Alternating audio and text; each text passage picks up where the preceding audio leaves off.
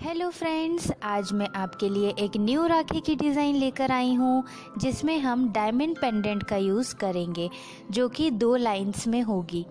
इससे पहले अगर आपने मेरे वीडियोस को अभी तक नहीं देखा है तो सबसे पहले मेरे इस चैनल को जल्दी से सब्सक्राइब कर दीजिए, जिससे आपके पास इसी तरह के न्यू न्यू इनोवेटिव आइडियाज़ आते रहें। तो आज मैं आपको ये राखी बनाना बताऊँगी, जैसे कि आपको दिख रही है, जिसमें हमने डायमंड पेंडेंट का यूज़ किया है। बहुत ही सिंपल है और बहुत ही इजी है, आप घर पे बना सकते हैं। सबसे पहले हमने एक मोती अपने थ्रेड में डाल ली है निडल की मदद से। अब ये एक न्यू टेक्निक है, जो कि मैंने बनाते वक्त यूज़ की है, बहुत ही इफ़ेक्टिव है, जिसमें आप सबसे पहले पेंडेंट में इस तरीके से जब आप डालेंगे तो जो मोती है वो फंस जाएगी, जिसकी वजह से आपकी जो राखी है उसमें स्ट्रेंथ आ जाएगी और हम शुरुआत जो है पेंडेंट से ही कर रहे हैं और कंप्लीशन भी पेंडेंट पे आकर ही होगा। ओके तो आप बहुत ध्यान से इस वीडियो को देखिए। बहुत ही इजी टेक्निक है और बहुत ही इफ़ेक्टिव है। आप इजीली इसको बना सकते हैं और आपकी राखी स्ट्रॉन्ग भी रहेगी। ये जो टेक्निक है, इसको समझने के लिए आप इस वीडियो को पूरा ज़रूर देखें, जिससे आपको समझ में आए कि हमने जो मोती ली है, उसकी वजह से हमारी राखी में किस तरह से स्ट्रेंथ आएगी।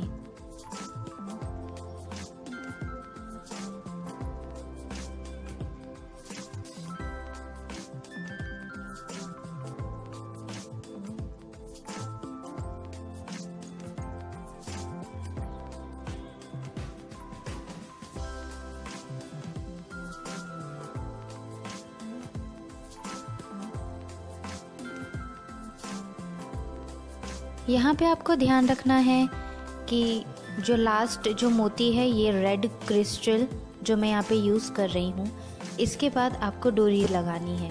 तो अगर आपकी डोरी भी इसी तरह की स्ट्रॉन्ग वाली है तो आप इसमें से सुई की मदद से सिलते हुए इसको डोरी को यूज़ करें। और अगर आप डोरी की जगह कोई और धागा यूज़ करना चाहते हैं तो उसको सिर्फ़ पुटअप करना है। एंड देन अगेन जो रेड कलर का क्रिस्टल मोती है, इससे हम निकाल लेंगे। यहाँ पे जो रेड क्रिस्टल मोती है, वो सिंगल है, इसलिए हमने उसी में से निकाला है। देन अब सेकेंड लाइन हम बना रहे हैं। अगर आप को कोई दूसरी डोरी यूज़ करनी है, कोई थ्रेड यूज़ करना है या मौली का धागा यूज़ करना है तो ये सारी टेक्निक्स मैं अपनी पिछली वीडियोस में बता चुकी हूँ। तो अगर आप पहली बार मेरा ये वीडियो देख रहे हैं तो ज़रूर मेरे पहले की वीडियोस देखें, इससे आपको हेल्प मिलेगी राखी बनाने में।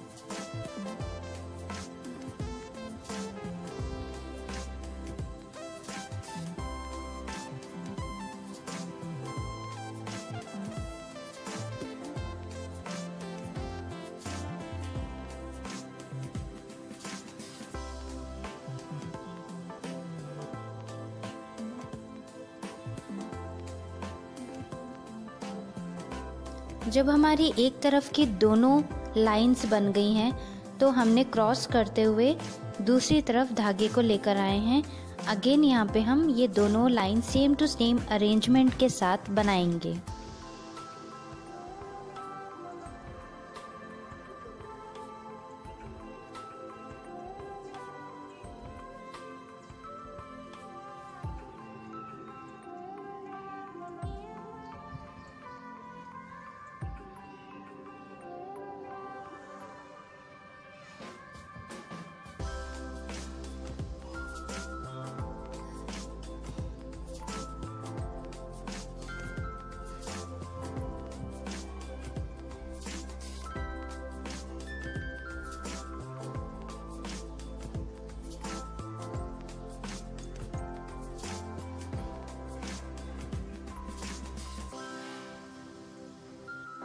यहाँ पे मैंने दो लाइंस बनाई हैं। अगर आप दो से ज़्यादा लाइंस बनाना चाहते हैं, तीन या चार तो ये जो डायमंड का जो पेंडेंट हमने बीच में हॉरिजॉन्टली रखा है, इसको आप वर्टिकली रखें, जिससे आप दो से ज़्यादा लाइंस बना सकते हैं।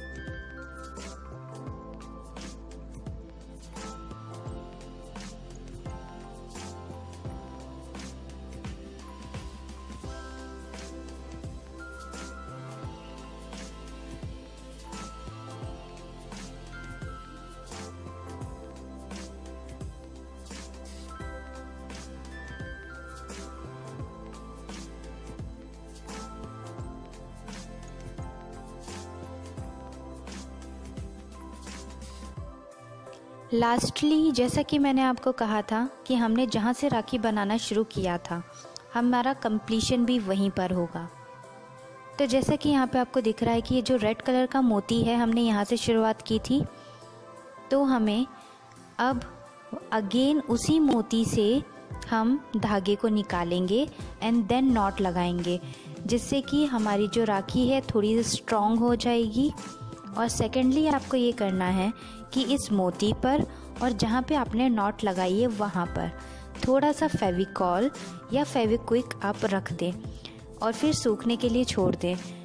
इससे क्या होगा कि जो नॉट है, वो और मज़बूत हो जाएगी और बिल्कुल आपकी राखी एकदम ब्यूटीफुल और स्ट्रॉन्ग रहेगी। सो ज़रूर से ये टेक्निक ट्राई करके देखें और मुझे कमेंट सेक्शन में बताएँ कि आपको ये आइडिया कैसा लगा। यहाँ फेविकॉल का यूज़ करने से एक और ये फ़ायदा है कि आपके अगर छोटे मोटे जो थ्रेड्स हैं अगर वो दिख रहे होंगे तो वो भी एक ही जगह आ जाएँगे। और क्योंकि ये नॉट नीचे की तरफ़ है तो ऊपर से बिल्कुल भी दिखाई नहीं देगी। सो so, इसी तरीके से आपकी राखी हो गई है कंप्लीट और then thank you for watching my video